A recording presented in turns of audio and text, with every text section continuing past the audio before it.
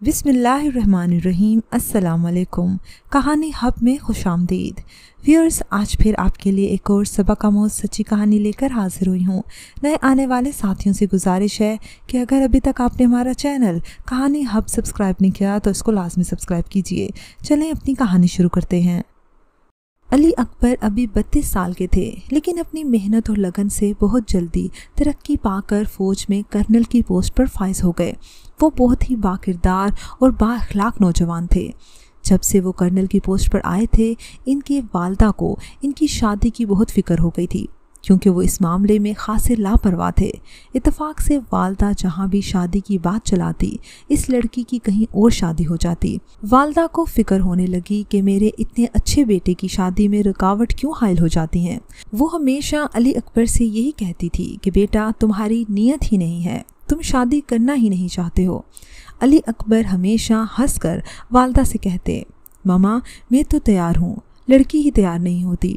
اب تو ان کی والدہ نے ٹھان لی تھی کہ اس عید پر ان کی شادی خاندان میں کسی اچھی لڑکی کو دیکھ کر کر دی جائے گی۔ علی اکبر جو والدہ کی بات ماننے کے لیے ہر وقت تیار رہتے تھے بولے، ٹھیک ہے ماما، مگر میں اپنے اسپیشل مشن سے واپس آ جاؤں، پھر اس عید پر عیدی آپ کو بہو کی صورت میں ملے گی۔ اس بار کرنل علی اکبر کی پوسٹنگ ایک ماہ کے لیے خصوصی مشن پر کی گئی تھی۔ قیام مختصر تھا۔ شہر کے جس حصے میں انہیں رہائش دی گئی تھی، وہ ایک بہت بڑا سا محلہ تھا، جہاں ہر قسم کے لوگ آباد تھے۔ جس جگہ ان کا عارضی قیام تھا، مسجد وہاں سے چار پانچ گلیاں چھوڑ کر تھی اور درمیان میں جن گلیوں سے ان کا گزر ہوتا، وہاں پر بہت سے گھر راستے میں پڑتے تھے۔ پہلے دن علی اکبر گھر سے رات کو عشاء کی نماز کے لیے نکلے تو دو گلیوں کے بعد ایک لڑکی وہاں سے نکلی، جو کہ پوری طرح سے خود کو سفید چادر میں لپیٹے ہوئی تھی۔ علی اکبر نے اپنی رفتار تھوڑی آہستہ کر لی۔ وہ لڑکی بہت ہی نپے تلے انداز میں چل رہی تھی۔ وہ بھی مسجد کی طرف ہی جا رہی تھی۔ مسجد کے دروازے کے پاس رک کر اس عورت نے مسجد کی چوکھٹ پر ہاتھ رکھا اور ماتھے پر لگا کر آگے بڑھ گئی۔ دوسرے دن کی مصروفیات کے بعد حسب معمول عشاء کی نماز کے لیے جب علی اکبر نکلے تو وہی عورت گلی سے نکلی اور علی اکبر کے آگے آگے چلنے لگی۔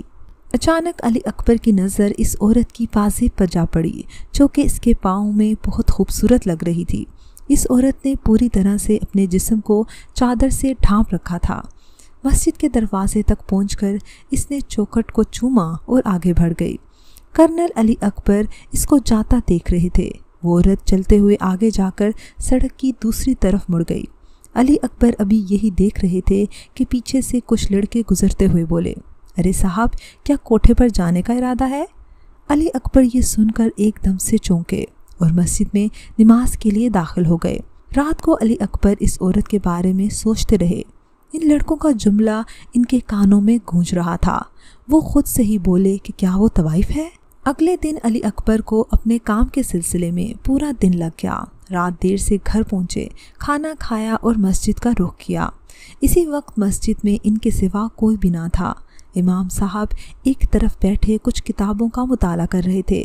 علی اکبر اپنی نماز مکمل کرنے کے بعد ابھی دعا کے لیے ہاتھ اٹھانے ہی لگے تھے کہ وہی سفید چادر میں لپٹی عورت مسجد میں داخل ہوئی۔ امام صاحب کو سلام کیا اور ایک طرف بیٹھ گئی۔ کچھ کتابیں ان کے حوالے کی، وہ عورت امام صاحب سے محف گفتگو تھی۔ پھر امام صاحب نے کچھ کتابیں اس عورت کے حوالے کیں وہ کتابیں لے کر امام صاحب کو سلام کرتے ہوئے چل دی۔ علی اکبر اٹھے اور امام صاحب کے پاس آ کر بیٹھ گئے اور اپنا تعارف کروایا۔ امام صاحب نے ان کو خوب دعائیں دی اگلے دن چھٹی تھی۔ رات کو کھانے کے بعد علی اکبر باہر نکل آئے اور ارد گرد گھومتے پھرتے ایک ہوٹل میں آ کر بیٹھ گئے۔ اور اپنے لیے چائے منگوائی۔ دو من چلے نوجوان ان سے اگلی چاروائی پر آ کر بیٹھے اور چائے کا آرڈر دیا۔ ان میں سے ایک بولا، آج کل وہ سفید چادر والی پری مسجد میں بڑا نظر آ رہی ہے۔ کہیں اس نے امام صاحب کو تو اپنے چنگل میں نہیں پھنسا لیا۔ پھر وہ دونوں ہنسنے لگے۔ علی اکبر کے کان یہ سنتے ہی فوراً کھڑے ہو گئے۔ وہ ایک لمحے کے بغیر وہاں سے اٹھے اور ان نوجوانوں کے پاس آ کر چارپائی پر بیٹھ گئے۔ اور بولے، دیکھو نوجوانوں، کسی بھی عورت یا مرد کے بارے میں ایسی باتیں کرنا ٹھیک نہیں۔ آپ بالکل غلط بات کر رہے ہیں۔ ان میں سے ایک بولا، ارے کرنل صاحب، آپ کیا باتیں سمجھا رہے ہیں؟ آپ کو کیسے پتہ چلا کہ میں کرنل ہوں؟ انہوں نے نوجوان کی بات کاٹتے ہوئے کہا۔ ایک نوجوان نے جواب دیا، جناب، ہم یہاں کے رہنے والے ہیں اور ہمیں اپنے محلے میں آنے جانے والوں کا سب پتہ ہوتا ہے۔ یہ سنتے ہی علی اکبر نے کہا دیکھو، کسی کے بارے میں آپ کو برے الفاظ نہیں استعمال کرنے چاہیے، خاص طور پر کسی بھی عزت دار عورت کے بارے میں۔ اس میں ایک نوجوان بولا، ارے کرنل صاحب، جس کی کوئی عزت ہی نہ ہو تو اس کی ہم کیا عزت کریں؟ وہ ایک طوائف ہے۔ اور جس چیز پر جو لیبل لگا ہوتا ہے نا، اسے اسی نام سے پڑھا جاتا ہے۔ لیکن وہ ہے تو ایک انسان نہ ہو سکتا ہے وہ کوئی مجبور ہو اور نہ چاہتے ہوئے بھی ایسا کر رہی ہو۔ اور سب سے پہلا لیبل تو اس کا عورت ہے اور عورت تو ماں، بہن، بیٹی، بیوی ہر طرح سے محترم ہے۔ علی اکبر نے غصے سے کہا، کرنل صاحب، وہ تو ان میں سے کچھ بھی نہیں، ایک نوجوان گویا ہوا۔ کرنل صاحب، کیا آپ اپنے گھر میں باحیثیت بیوی اس کو عزت دیں گے؟ دوسرے نوجوان کو شرارت سوجی۔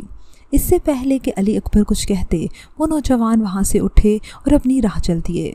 علی اکبر کو ان نوجوانوں پر بہت غصہ آ رہا تھا۔ وہ تھوڑی دیر بعد مسجد کی طرف چل دیے۔ جماعت کھڑی ہو چکی تھی۔ نماز ختم ہوتے ہی سب لوگ وہاں سے چلے گئے۔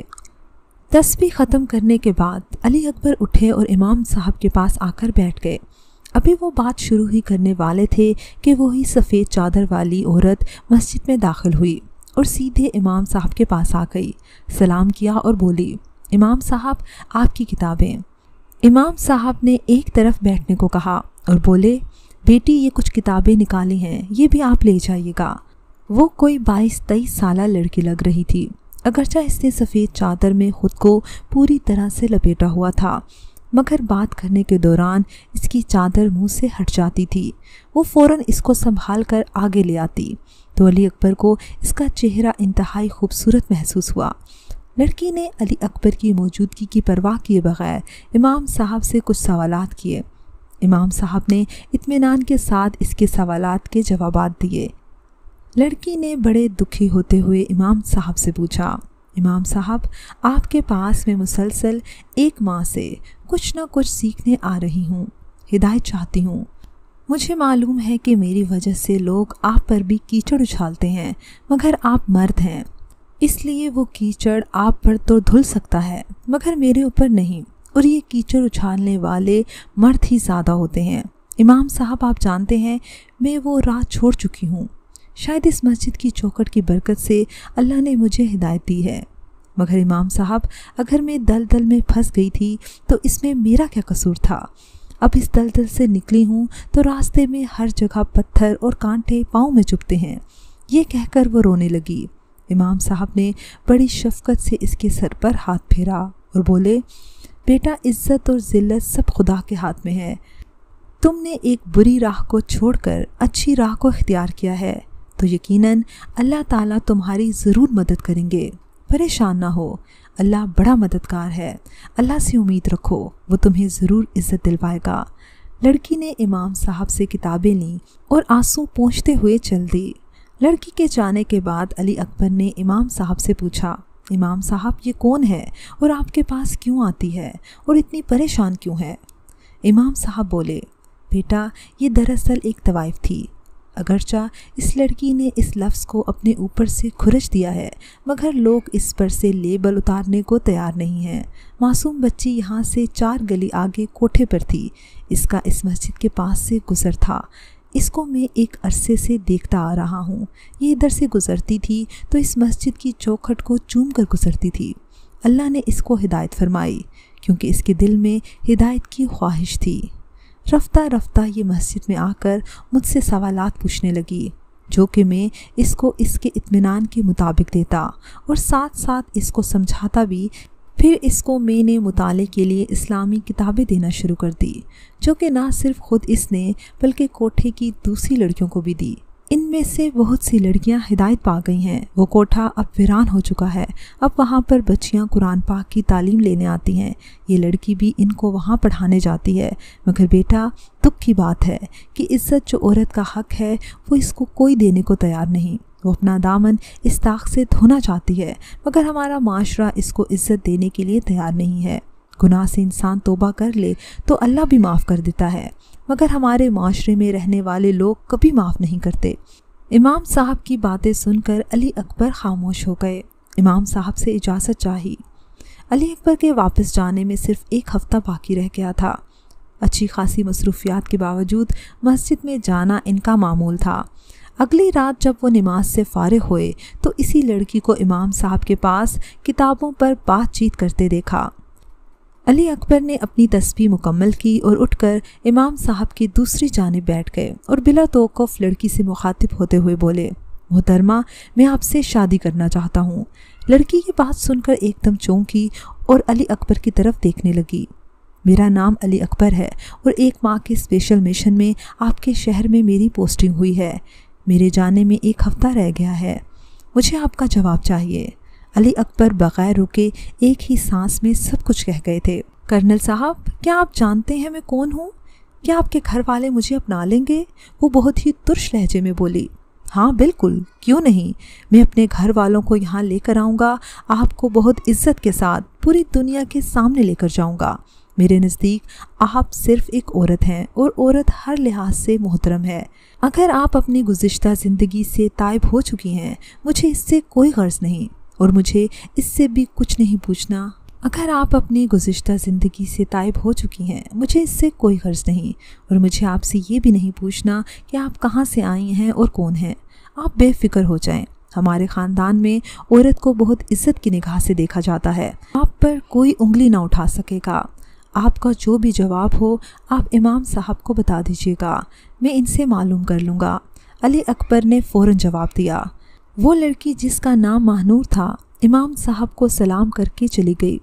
تم نے بہت ہی مبارک کام کیا ہے، تمہیں اس کا اجر اللہ تعالیٰ ضرور دے گا۔ بس یہ خیال رہے، وہ میری بیٹی کی طرح ہیں امام صاحب نے علی اکبر کو شاباش دیتے ہوئے کہا۔ علی اکبر نے اپنے گھر والوں کو فون کر کے بلوا لیا۔